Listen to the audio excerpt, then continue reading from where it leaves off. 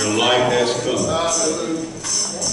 Isaiah said that. He said that the glory of the Lord is risen. Yes. Yes. Let me say that. He said the glory of the Lord is not going to rise. He said the glory of the Lord is risen yes. upon you. So tell yourself that the glory of the Lord is risen upon me. Come on, it's not going to. He says it is. Amen.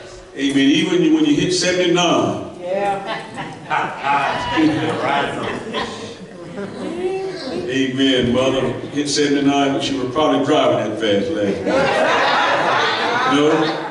Oh, praise the Lord. Amen. It's just good to see everybody today. I want to tell you that Milton Harvey um, hit 65 yesterday. Praise the Lord. Amen. Amen. There are many people who are out. Uh, some are vacationing. Some are just out sick. Some are just going through some challenges. And they need to know, young and old, uh, that the Lord's heart has not changed. You know, that's what I find so fascinating about God is that no matter how much you and I reject Him, Yeah. His heart never changes. It's the truth. It's the truth. You know, uh, I read something the other day where it says His love is is everlasting. It never changes, but it changes us if we allow it to. My, Uh, and our job is not to save anyone. yeah. You know, I think that's where we mess it up. Uh, we try to make our children get saved. We, no, our job is to first of all present Jesus. Amen. Let them know that there is an alternative. Amen. To being out in this world. And then it's their choice at that point. What you have to make sure you do, you and I, is live a mm-hmm. life before them that does not conflict the message you're, you're speaking to them. Amen. Because if you're speaking a message to these children and your actions conflict with them, Amen. they're not going to see anything about Jesus that they want or need. And so, and we're losing, we're losing generations now. And so we've got to get this thing right. Uh, and so, uh, I'm encouraged by the word of the Lord, but I, I, I just see so many of our young people. Uh, they're being drawn away and enticed. And they see our strict way of living as rebellion. They want to rebel against that. Uh, and so it saddens me when I read about what young people are doing today. And uh, my heart weeps for them. And they have seen us in church be so hypocritical. Uh, they don't know what to believe. And so I just encourage you, saints of God, get this thing right. Amen. Amen. You know, uh, my daddy coming up, my daddy said, no matter what we, you know, no matter what we did during the week, Sunday morning, get up out that bed. That's right. You going to church. That's right. I looked at daddy, well, okay, well, daddy, you going? he might, he might not. But you go. And so we would get up, look, we, we could party all night long, but long as we was in that house, Sunday morning, you were going to church. Uh, that's all we knew it as. We were meeting the requirement, for one, for not getting killed from daddy, and then we found that church was a good place to sleep. Amen. Y'all look at me funny. I, I do just like some of y'all. I get, I would get on that back row in the church, and I got the best sleep. But I went to church. And I want that to be more. You understand? There's got to be more for us. We have a responsibility to be an expression of God's love. Uh, because the world needs it sorely not right now. Amen. We got children growing up, going off to college. Some of them may not come home to live with you again. Some of them may. Uh, but we got to make sure that we have planted in them what is necessary to keep them. Going back to our foundational scripture, uh, Numbers 23, 19, uh, uh, Minister just quote, had us quote that, and I want to emphasize the three aspects of that that we've been speaking on. So we give honor to each of you, Pastor Tanya, my family here today. Amen. We honor each of you uh, in the house today, and, and we, we cover those that are absent today. Amen. Amen. We uh, give a shout out to Greater Faith, uh, North Peel Community Church in Toronto, all the covenant churches uh, that are with us, and our brothers and sisters in Kenya, India, Pakistan, Uganda, Nigeria, uh, that we have been in contact with. We, we give them a shout out. Uh, I'm trying to coordinate right now uh, a ministry conference with Kenya. We've been working with them this week, trying to get things set up to where we can do the first one initially by Zoom. So they're working now on their end to try to get things set up. And then, once they do, we're going to send information out where you can participate if you like. God is not a man that he should lie, neither the Son of Man that he should repent. Hath he said, and shall he not do it? Or hath he spoken, and shall he not make it good? Now understand something. It is nothing in there about what you're going to do. That's right. Amen. That'll preach all by itself what we're claiming. It, it- in that verse, it has nothing to do with what you're going to do. All God wants is a yielded vessel. He said, I'll do the work. I just need you to bow your head. What does that mean? Remember we've been talking about being yoked to Christ means to be in a yoke, you have to bow your head down. Why is that? When you bow your head down, he places a yoke. It's a U like a U clamp over your neck. The neck is an expression of the will. Oh Lord have mercy. So when I come before God and I bow my head down, I'm saying, put the yoke over my will. Some of y'all still looking at me funny. Go ahead. Because you got a strong will, you say, I'm fighting this thing. That's why you notice in scripture, he always calls his people stiff-necked. You, you read the scripture, you always called Israel stiff-necked. They, they kept opposing the yoke. Their will kept bucking against his. So he said, they're stiff-necked people. Let us not be stiff-necked. Let us willingly bow our head and let God place the yoke on us. Because when he does, when he, he's allowed to do it, it's no longer what you can do. It's about what he said he would do. Amen? Amen. So these three aspects I've been talking about. I am who God says I am. Amen? Yes. I can do what he says I can. Come on, do I have that? Yes. I have what God says I have. Now notice, let me go back to the first one here. I am who my husband says. I am who my wife says. My cousin Pookie. Come on. Jim Bobby. I, am who God says. That's right. If you can't settle that, now I'm just walking you back through this as a review. If you can't settle that you are who He says, you will allow anybody to come along and define you. That's right. That's right. Oh, hallelujah. But oh, thank God that God defined who I am. Hallelujah.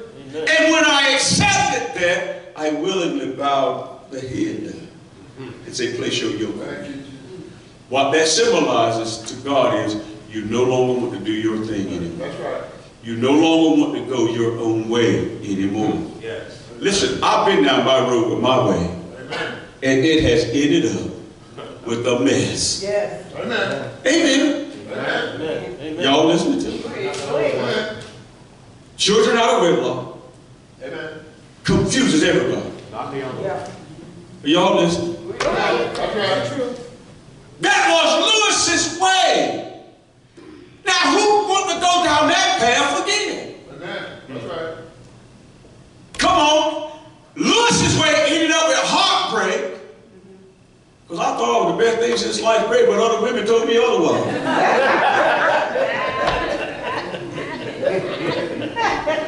Y'all look at this when y'all say, I'm not joking, they ain't crazy.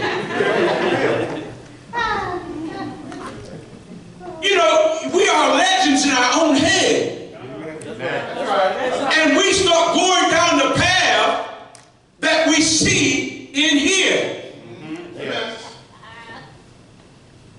And then you quickly learn that your way is filled with chaos, is filled with doubt, is filled with misery, and the devil will convince you to continue to go down your way. That's right. Amen. That's right. Amen. How much misery is enough? Amen. So I willingly bowed my head and said, Lord, I believe I tried your way now. Amen. That's right. Amen. I'm always trying to minister to you transparently because the Bible says only truth makes people free. That's right. Amen. Amen. Us cloaking what is true don't make people free. That's right. You got our babies getting ready to go off into this world. They need to know that, listen, you've experienced failure in your life. So when you, I was telling our, our young girl corner this morning, so when they go out, they're educated. They, they have a lot of skill sets, but what they don't have, they need from the generation before them, and it's called wisdom. Amen. God. Amen. So when I function the way God told me to function, my children might look at me and my wife like we old school, rusty. They they always tell me often that I'm crusty. The way they look at me, daddy's way, all, all crusted up. But what they don't have is the wisdom that I've received through the failures of- in life. That's right. Amen. I can offer that even if I can't keep up with them running. I can offer wisdom. Amen. I can tell my baby, no, don't mess with him because I see in his eyes right now what he wants.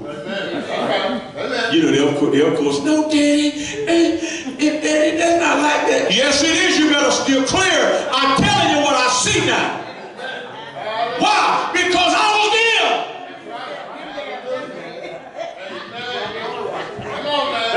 That's wisdom.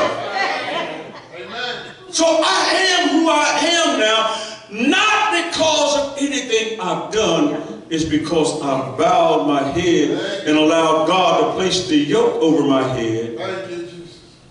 I'm 62 years old now. I wish I would have done it when I was 30. Come on now. Amen. Amen. Talking about the, the suffering I could have avoided, mm-hmm. That's right. Yeah. That's all. the confusion Yeah. that I could have avoided. Yes. Amen. Amen. Amen. I am who He says I am. I can do what He says I can. Thank you, Jesus. Hallelujah. Let me move on a little bit. I shared last time with you that we are kings and priests unto God. That's not poor. Okay, that ran that ran too fast for me. Let me say it slow like my molasses in wintertime. You can't be a king and be broke. That's right. That's right. Come on, man. Hallelujah. Hallelujah. It's going to register. See, we've been trained to make sure that we're always just getting by.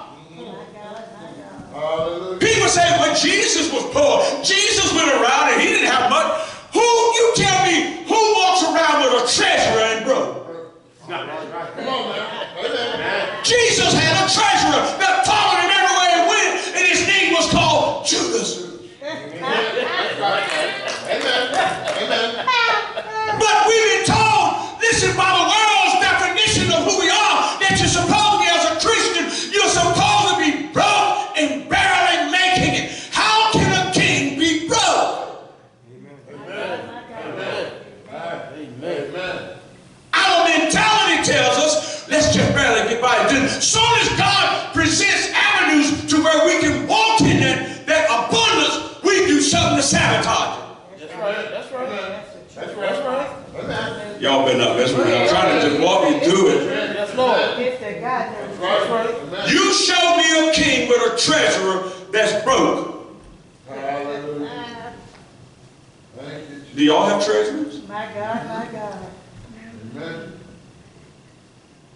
And y'all got some, at least a pair of spare change in your pocket.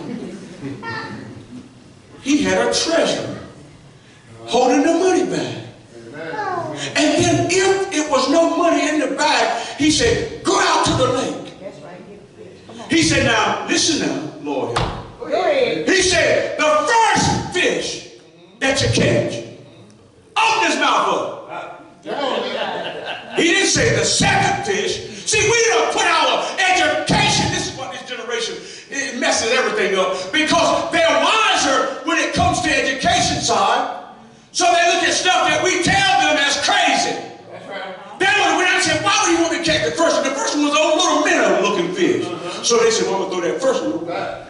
I'm going to put it to the side. I'm gonna, then I catch the second one. The second one, the big fish. They open the mouth of the second fish. Ain't nothing in there. Amen. Because God said, go to the first one. Amen. Education would tell him, no, they're not too small. He wouldn't have had it in there. That's right. Mm-hmm. I know. He went out to the, he caught the first fish. He opened his mouth up and there was gold in the fish mouth. Hallelujah. What am I saying? It doesn't matter whether you got the money in the bank. You are connected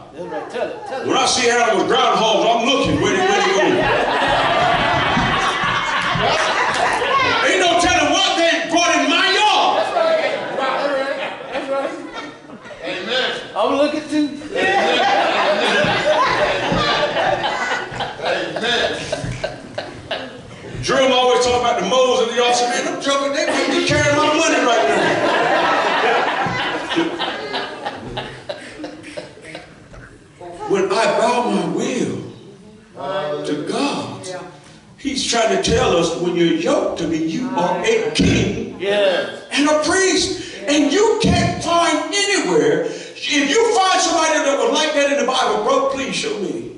That's right. Amen. Amen. That's why these children want to come to church, cry everybody crying for out. All right.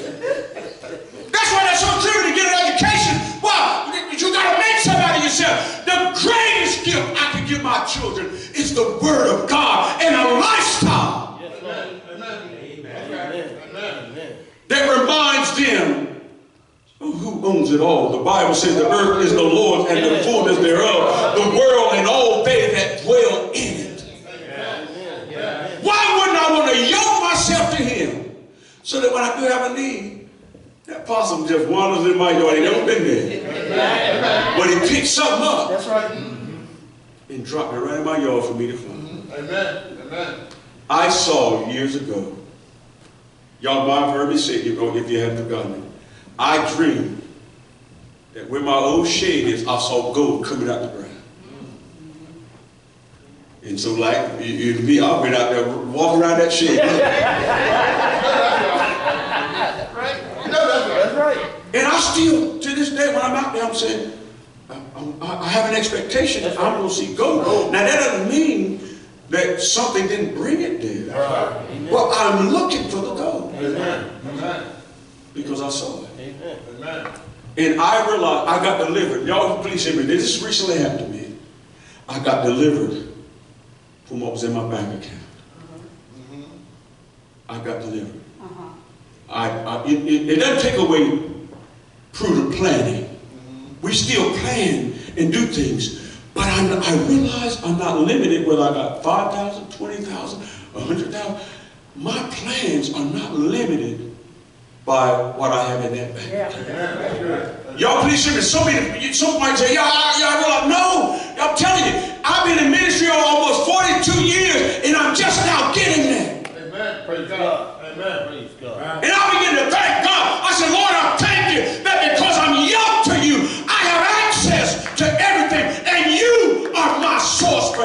everything. So I just don't write certain things that I want to get done. Praise God. Hallelujah. And I have an expectation, that even if I don't see it there, That's right. I'm yoked. Amen. Amen. Thank you, And he knows what I have need of. Amen. Amen. Y'all better stop chasing that possum out your yard. You better check, see what they got first.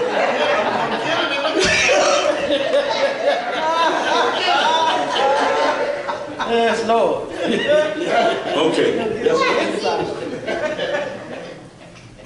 Revelations. one. Hallelujah. I, I know this is just review. I can't get past it. Revelation 1, 5, and 6. And from Jesus Christ, who is the faithful witness, and the first begotten of the dead, and the prince of the kings of the earth. Prince of who?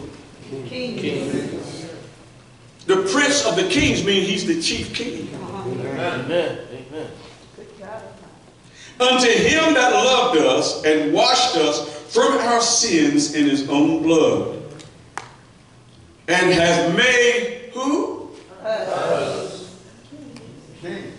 Kings and priests. Look to somebody and say, he talking about you. Amen. Amen. God. He made us. Kings and priests unto God and his Father. To him be glory and dominion forever and ever.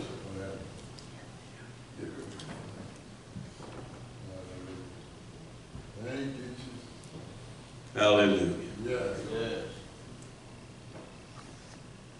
I'm a king and a priest. Which means he's chief over all kings. Amen. Amen. And God has a distribution plan that he gives to every king. Amen. And I'm learning this. That when I have a need, God, you're my source. This is what I need. Amen. And I've learned that what I need is not just money. Amen. That's right. Amen. I, I need a certain skill set to show up. Hallelujah. Yeah. Go ahead. God will supply all my needs. Yes. Amen. Won't you, won't you release God and stop limiting God to how much money he can give you? Come on, Father. Come on now. Amen. He said, if there's a need, I will meet it. That's right. Hallelujah. Maybe you need to pass your school board exam. Maybe you need to be able to any of those things. God said, I'll supply. Yeah. Hallelujah. Take the, take the, take the yoke off my hands. Yeah. Yes, Lord. And the thinking that all I can give you is money. Hallelujah. Lord. Amen. Hallelujah. Jesus. Speak, I was looking at yesterday. The Bible says, and and I, I don't think I have that up there. Joshua was about to die. And he says this to the saints of God. He says, in Joshua 24, I believe, he says, I go by way of all the earth. He said, but I want to remind you of something. That God kept every word he ever spoke. Not one word that God spoke to us all these years, he ever failed. That's what, now that was his message to the people of God as he was preparing the transition. He said, now one word that God failed to perform.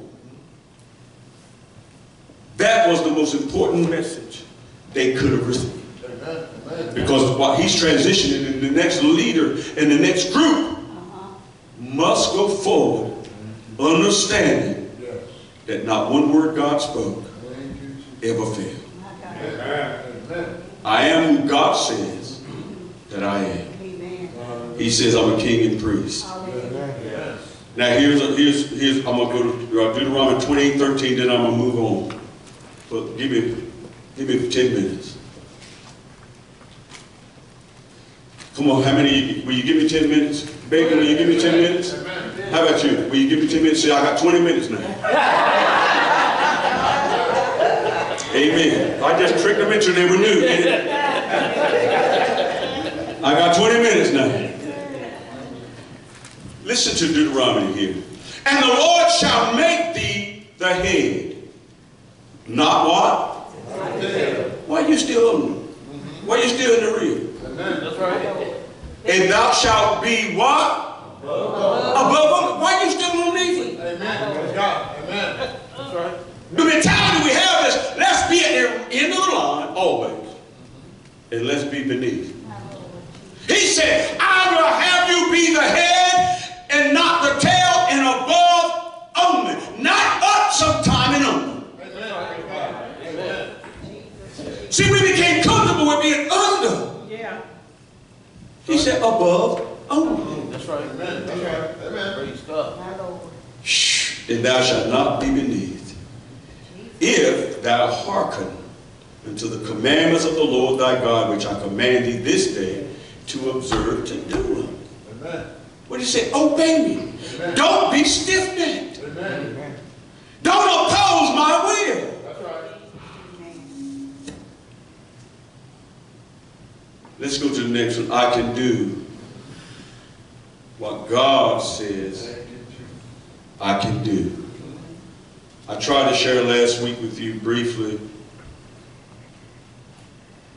We all have Sauls in our lives. Saul was king, but Saul had such a negative outlook on life to where when David came with a message of victory, he said, You can't do this, man. David said, Wait a minute. This Goliath must die.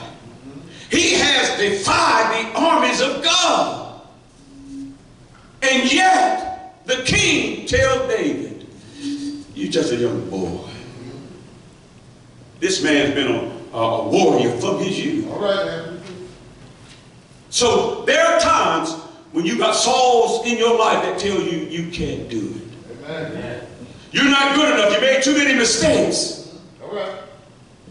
You remind Saul of your resume.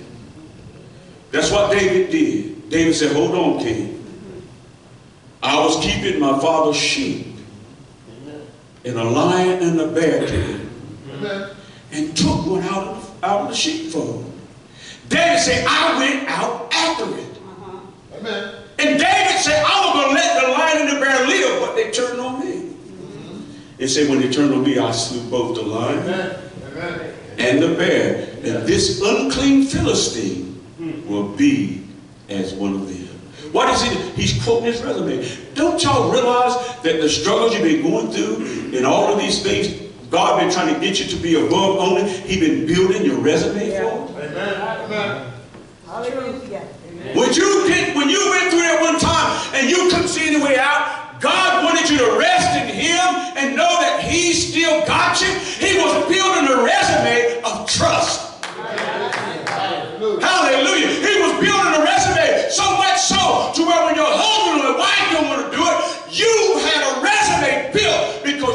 What God did before. Amen. Praise God. My God, my Amen. God. Now you get old, crusty. Now you want to follow your husband or wife in the wrong path. Lord, my Lord. And you got a resume. Amen. They don't want to read that crusty joke was still living with because you were faithful. All right. All right. Amen. Amen.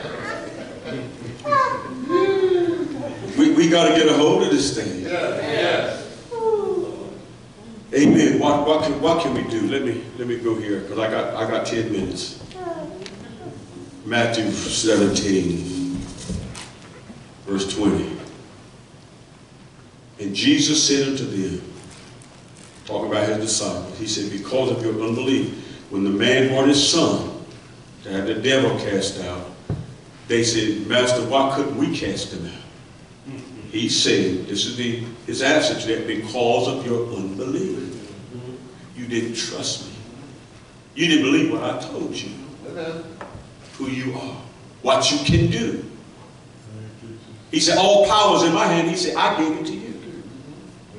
You didn't believe that power or that authority. He says, For verily I say unto you, if you have faith as a grain of mustard seed, you shall say unto the mountain, Be thou removed. That's what he said. Remove hence to yonder place, and it shall remove, and nothing shall be impossible to God. Is that what I said?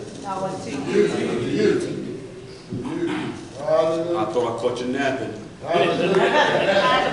Nothing shall be impossible to you. That I can do what God says I can do. I didn't, it didn't say I can do what I feel. Mm-hmm. Yes. I can do what he says I can do. And he just said nothing Nothing. is impossible Hallelujah. to you. Thank you, Jesus. Are you yoked to his will? Because when you're yoked to his will, you've drawn close enough to him. Mm-hmm. He says to do one thing when you're yoked, he said, learn of me. Mm-hmm. Watch how I walk. Amen. Watch how I talk. Watch how I command. He said, learn from me. And go do the same. Yeah. It's a beautiful thing to know that I'm learning day by day to take the shackles off God's hand Amen. in my own life. Yeah. I'm not perfect, but I'm striving for it now. Thank And I'm beginning to see things and hear things that I've never heard before. But he said, nothing shall be impossible to me. So what about you? Matthew 10 and 8. Now, this is where I differ from most people in Christian. Most people in Christian want to get ugly. This is what Jesus said do. Heal the sick. You say I can do what he says I can. Well, he said heal the sick. Cleanse the lepers. Raise the dead. Cast out devils. Freely you have received, freely give. Let me tell you what we want to do. We want to entertain the de- demons. Mm, Lord, oh sweet Jesus. We're doing this while a person is demonically possessed. Lord, we want you come by here and touch this lost soul. Oh, Lord. I watched that my whole life. And then we go, and go on, Jesus, Jesus. He said, heal him. Cast him out. Raise him. Amen. Amen. And we want to entertain Yeah. Because we don't quite believe it. That's right. Still, we don't believe it. That's why we got to entertain. We pump ourselves up That's right. Amen. Amen. until we got enough courage to, to say, come out, devil. Jesus walks in, the devil there, he says, shut up and keep right on walking. Amen. Learn of me. That's right. He didn't go say have a five-hour prayer session. There you go. Amen. We feel good about it though. I, I'm gonna close with this, but they gave me 20 minutes. I'm gonna finish. Listen, this is this happened to me years ago over in Norfolk, and I'm sitting in the back of the church. I pulled a drum, because drum watch everything. I'm in the back of the church, and I see this young lady. She comes in with a cheeseburger from McDonald's. She had a cheeseburger bag. And I said, oh, they both of them in this here. And she sat there, she ate that cheeseburger, she gulped it down before serving. I mean, I saw her just gulping that cheeseburger down. I said, tonight. She ain't chewing. she go that cheeseburger. And then during service, I remember the pastor came out, I ain't gonna. And she was over there like something wrong with her. And he said, Oh, this my ministry here. He called up. This my ministry. I'm saying, nothing wrong with that girl. She done choked that cheeseburger down. and that pastor was up on the floor wrestling with that girl, trying to get a demon out of her. In the name of you, come look, don't you hurt her. Now when he came, I said, what? You need to have her spit that cheeseburger out. I'm sitting here watching them play this thing. And I said, you know what, Lord? I said, this is why we can't grow up. Amen. Amen. Amen. And she looking like she was spitting a demon out. No, you got cheeseburger caught somewhere. I'm telling y'all, I watched this mess, and that's why, that's why when I go to certain churches, I don't like doing certain things that are traditional. Amen. Amen. Amen. Because all the time we play. I want to go out to, to, to what the word says. And if I'm not there yet, that's where I know I have to come. And I've got to do what is, what is necessary. To where I believe everything he said I can do. Amen. Okay, my 20 minutes up. Thank you. Y'all stand to you. I'm going to finish this message sometime in. All right. But he, he didn't say, go and pray to see if you can do this. He said, heal them. Amen. That's right. He said, when you go, don't go have a seance. When you go pray over the sick and never go. Amen. Amen. And we got, to, we got to come to a point in our own lives that we truly believe what God has said about what I can do. Amen. Amen. when I'm yoked to him. Beloved, hear me. You cannot do this if you're yoked to the enemy. That's right. Amen. Amen. No, you, it's, it's not going to happen. But when we're yoked to him, we can walk in confidence knowing that we watch the master do it. That's, that's why he took the 12 close to himself. He taught them for three years how to live victoriously. Amen. So when the time came when even their life was threatened, they stood bold. And they would not shake. Hallelujah. Why? Because I could hear Peter say, I knew who I am. Y'all don't understand. I betrayed this man, but I got, he, he, he got a hold of me. And I, I know who I am now. Amen. And when they wanted to crucify Peter, they like Jesus on the cross, he said, I'm not worthy to be crucified like him. Turn me upside down. that's Amen. Amen. They crucified Peter upside down. Amen. He was terrified that they would try to put him on a cross like Jesus. He said, I'm not worthy of it. Yes. Father, in the name of Jesus, I pray for all those present, all those that will listen to the message later, to take the gospel seriously.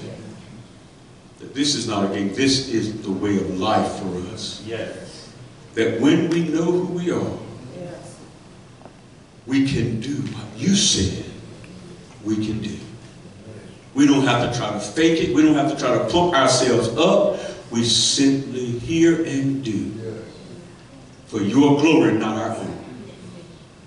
We thank you, Lord. Thank you. Help our unbelief. In Jesus' name I pray. Amém.